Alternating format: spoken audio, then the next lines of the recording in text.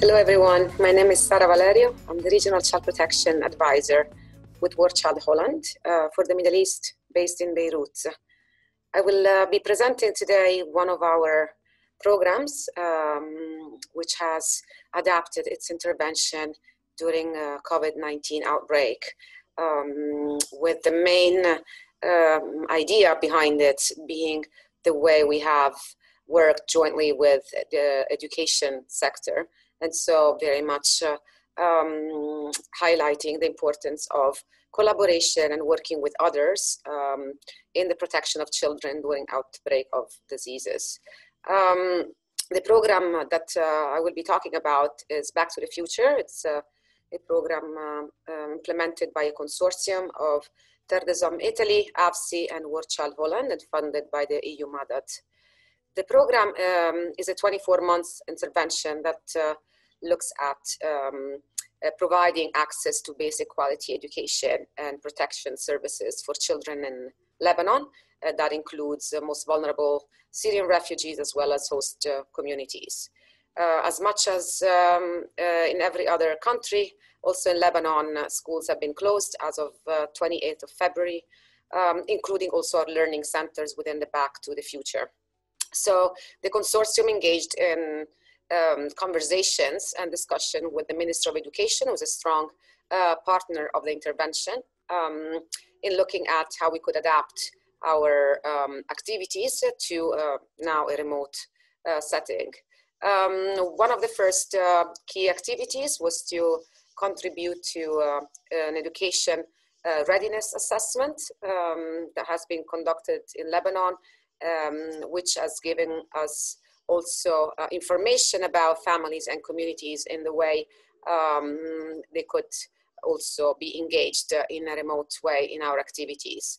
Um, uh, along with that, uh, the consortium has also um, very much got inspired by the technical note uh, produced by the Alliance on preventing child protection risks, um, abuse and violence at home during COVID-19. Specifically, uh, we um, highlighted the importance of two activities. The first one is uh, ensuring access to uh, caregivers, uh, psychosocial support activities, um, and children PSS activities um, by contributing to a joint child protection and education um, common set of competencies um, that have been developed uh, and implemented over eight weeks uh, very much understanding that during COVID-19, um, the situation at home um, could have had very much an impact on the relationship between caregivers and the children. And so very much highlighting the importance of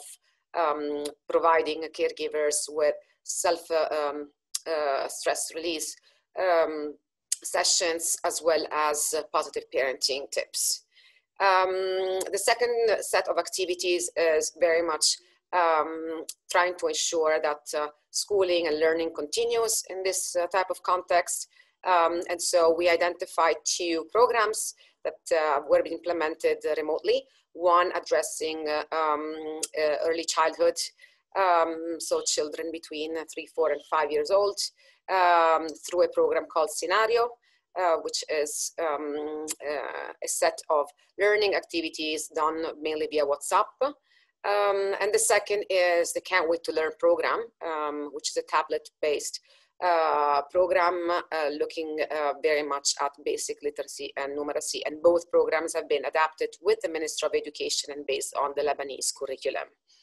Um, of course, um, this was also complemented by health awareness sessions in trying to reduce also um, the risks of spreading the disease um, within uh, the households.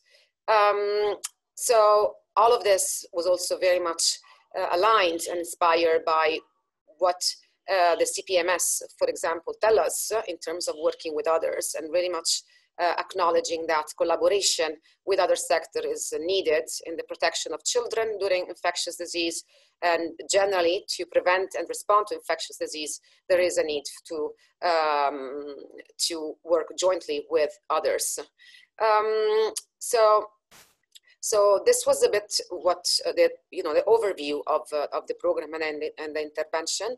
Uh, we did face some challenges, and the challenges, I think the one that I would like to share with you is um, on the detection of children um, in terms of identification and possible referral to specialized services. Uh, we were able to identify some children, um, uh, a total of, I think, 20, um, 20 children.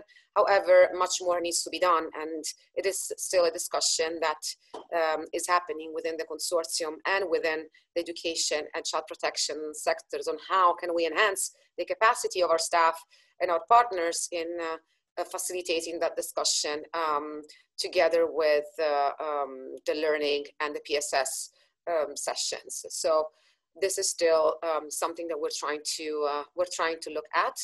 Um, I do hope that uh, we can discuss a bit further uh, during the alliance meeting, and I'll be happy to also learn from others on how can we best also continue to um, to um, support and refer uh, children at risk in this type of situation. Thank you so much and look forward to speaking more.